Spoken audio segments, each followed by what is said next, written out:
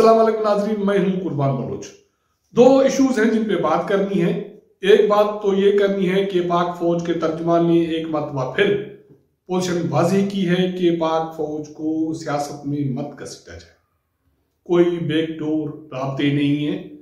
इस तरह की क्या सारियाँ बंद होनी चाहिए।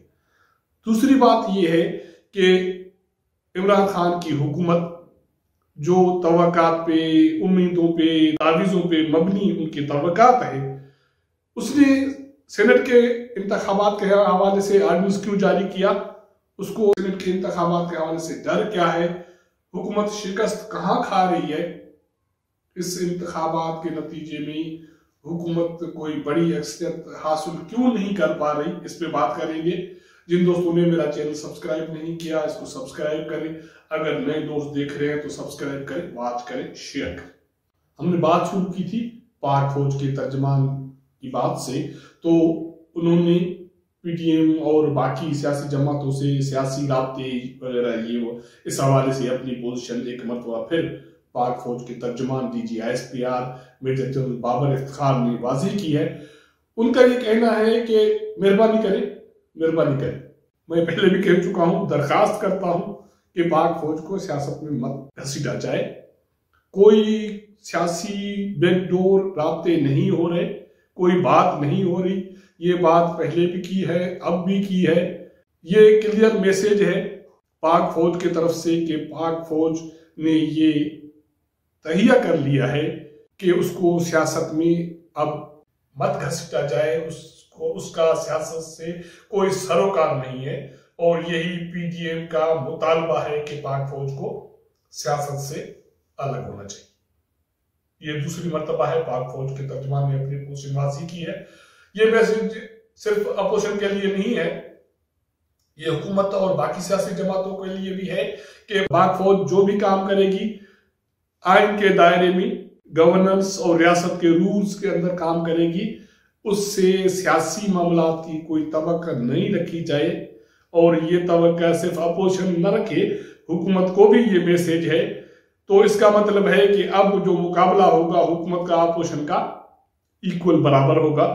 पाक फौज के तर्जमान ने दूसरी मतलब अपनी पोजिशनबाजी की और मेरे ख्याल में अब पीडीएम को भी इस पे भरोसा करना चाहिए। और मैं समझता हूँ कि पीडीएम को अब नहीं पीडीएम ने पहले से जो पाक फौज की क्यादत के हवाले से हाथ हल्का रखा है उसकी वजह भी यही है कि उनको ये वाज इशारे मिल चुके हैं कि पाक फौज अब सियासत से उसका कोई सरोकार नहीं है। अगर नहीं है तो फिर इमरान खान को भी ये आसरा नहीं होना चाहिए। अब मार्च के हवाले से मुकाबला होगा दू बदू सेनेट के इंतबात के हवाले से भी मुकाबला होगा दू बदू तावीज के आसानियाँ उम्मीदें मफरूज पे मबनी। कानून साजी करना आर्डिनेंस जारी करना तवक़ात रखना इस हुकूमत का पहले दिन से वतीरा रहा है। और यही वजह है कि अब हुकूमत ने जो आर्डिनेंस सदाती आर्डिनेंस जारी किया है सेनेट के इंतबात के हवाले से, वो भी तवक़ात पर मबनी है।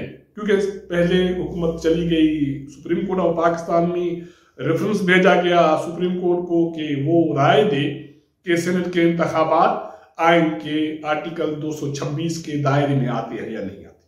अभी उस पर समाज जारी है तो आर्डिनेंस जारी किया गया और आर्डिनेंस में ये तवक्का की गई, उम्मीद रखी गई, मफरूजा बनाया गया कि अगर सुप्रीम कोर्ट ऑफ़ पाकिस्तान ने अपनी राय दी कि सेनेट के इंतबात आइन के आर्टिकल 226 के दायरे में नहीं आते तो फिर सेनेट के इंतबात ओपन बेल्ट के बुनियाद पे होंगे।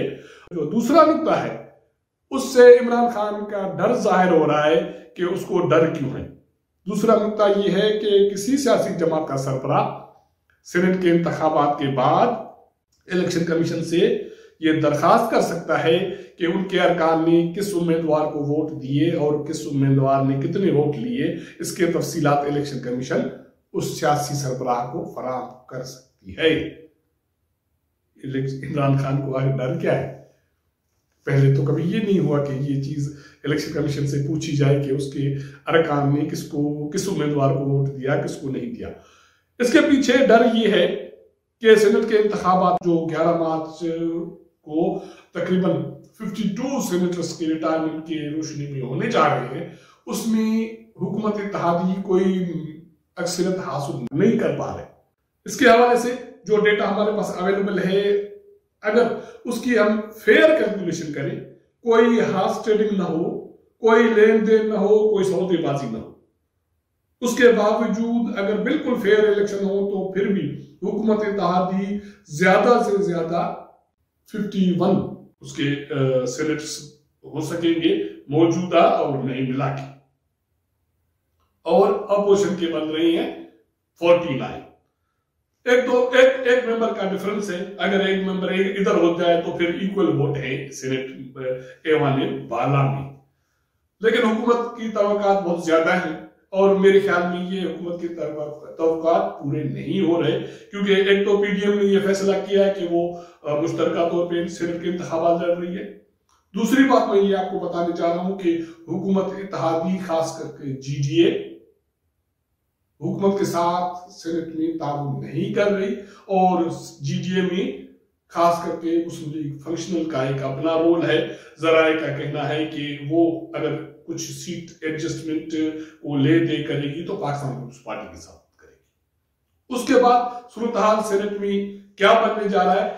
सूरत हाल ये बनने जा रहा है कि अब जो 52 मेंबर्स सेनेटर्स रिटायर हो, हो रहे हैं उसके मुकाबले में जो इंतबात होंगे वो 48 सेनेटर्स के होंगे। क्योंकि फाटा के जो चार सीटें खाली हो रही हैं उस पर इंतबात नहीं हो रहे।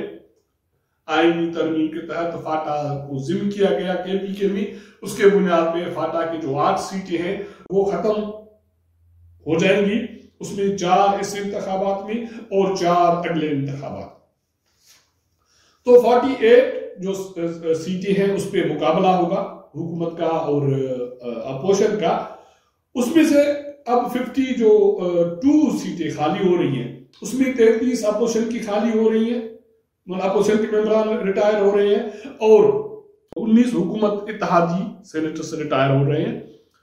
उसके बाद जो हुकूमत के पास सेनेटर्स बचते हैं, वो 52 बचते हैं, और अपोजिशन के पास 63 में से जो 33 रिटायर हो रहे हैं तो उसके पास 30 सेंटर्स बचते हैं। अगर पाकिस्तान पंजाब के, लेकिन अंदाज़ा ये है, अंदाज़ा ये कैलकुलेशन ये है कि पंजाब के 11 जो सीटें जिसपे इंतबात होगा, उसमें पाँच सीटें अपोजिशन को मिल जाएँगी, और बाकी जो सीटें हैं, वो हुकूमत इतिहादी ले सकेंगे। मैं ये फेयर डील की बात कर रहा हूँ।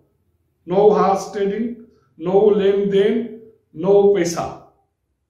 मैं उसकी बात कर रहा हूँ। लेकिन ऐसा मुमकिन नहीं लग रहा। सिंध में ग्यारह सीटें खाली हो रही हैं। सात से आठ पाकिस्तान पीपुल्स पार्टी। अगर जीडीए मसलन मुस्लिम लीग फंक्शनल वगैरह कोई लेन देन हुआ तो फिर सूरत हाल एक आधी सीट तब्दील हो सकती है और हुकूमत को मिलेंगे कोई तीन से चार सीटें। के पी में अगर फेयर सुल्तान बनती है तो 12 सीटों पर इंतबात होने जा रहा है। उसमें से 10 हुकूमत, दो अपोजिशन। बलोचिस्तान में पाँच तक अपोजिशन किया जाएँगी बाकी हुकूमत की। लेकिन ये मत भूलिएगा कि 2018 के सेनेट के इंतबात में पीटीआई के बीस से ज़्यादा लोग एम पी एस के के हाफ़ ट्रेडिंग में मुलविस पाए गए थे, जिनको इमरान खान ने उनकी मेंबरशिप मुअत्तर की थी। तो ये सूरत अभी भी कायम है।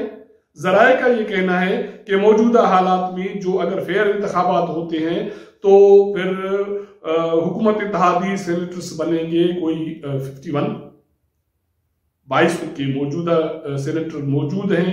और उनतीस नए आएँगे। इसके मुकाबले में अपोजिशन के तीस सेनेटर्स मौजूद हैं, बाकी नए आएँगे। तो उनका जो फिगर होगा सेनेट में, वो 49 का होगा। ये फेयर कैलकुलेशन के बुनियाद पे ये सूरत हाल बन रही है। लेकिन ये जराए कहते हैं कि पीडीएम के इतिहादी मुश्तर इंतबा लड़ने की वजह से ये सूरत हाल एक दो सीटों की तब्दील हो सकती है। हाँ मैंने इस्लामाबाद की दो सीटों का ज़िक्र नहीं किया। अगर वो फेयर तौर पे चीज़ें होती हैं तो वो दोनों हुकूमत को जाएँगी। लेकिन कहा यह जा रहा है कि उस पर वर्कआउट हो रहा है। शायद एक सीट पीडीएम निकाल दे। एक पंजाब से ज़्यादा सीट की तो की जा रही है। एक सीट कैपिटल से, इस्लामाबाद से निकालने की कोशिश की जा रही है और एक मजीद सीट सिंध से निकालने की कोशिश की जा रही है। अगर ये सूरत हाल बनती है तो फिर सेनेट में चेयरमैन और डिप्टी चेयरमैन की सूरत हाल भी तब्दील हो जाएगी। और यही वजह है कि सेनेट के मौजूदा चेयरमैन सादिक संजरानी साहब दो दिन पहले कराची गए हैं। वो सेनेटर शेर रहमान के घर पे गए हैं चाय पानी उन्होंने पिया है और वहाँ गपशप हुई है। उसको क्यों ज़रूरत पड़ी? ये सारी चीज़ें ये बता रही हैं कि मुस्तकबिल का जो सीनियर है, वो बिल्कुल चेंज होने जा रहा है। अगर सेनेट के इंतबात किसी दोनों सूरतों में, एक दो सीट आगे पीछे, जो भी सूरत हाल बनती है, उन दोनों सूरत हाल में हुकूमत की ये पोजिशन नहीं होगी कि वो अठारह अठारहवीं आयनी तरमीम या कोई मेजर आयनी तरमीम कर सकेंगे। क्योंकि ऑलमोस्ट ये होता है कि एक दो सेनेटर किसी भी कानून साजी में मौजूद नहीं होते और बिल रिजेक्ट हो जाते हैं। या वो सेनेटर्स कहीं साइड लाइन हो जाते हैं, जैसे सादिक संजय रवि साहब के इलेक्शन में हुआ था। तो हुकूमत को ऐसी तो नहीं रखनी चाहिए और ये जो आर्डिनेंस जारी किया गया, उसकी बुनियादी वजह भी ये है कि इमरान खान साहब बहुत डरे हुए हैं। हार्ट स्टेटिंग सूरत हाल मौजूद है। लोग पैसों के बेग भर के घूम रहे हैं क्लाइंट्स ढूंढे जा रहे हैं वोटर ढूंढे जा रहे हैं। और ये सूरत हाल मैं आपको वाजे करूँ कि सेनेट के मौजूदा आने वाले इंतबात मुल्क की सियासत के नई रुख तयन करेंगे। सूरत हाल क्या बनती है? जैसे चीज़ें अपडेट होंगी मेच्योर होंगी, आपके साथ शेयर करेंगे। अगर हमारा ये प्रोग्राम आपको पसंद आए तो अपने दोस्तों के साथ ज़रूर शेयर कीजिएगा। और अपना इनपुट हमें ज़रूर दीजिएगा। आपके साथ मुलाकात होगी अगले प्रोग्राम में। तब तक इजाज़त दीजिएगा। अल्लाह हाफिज़।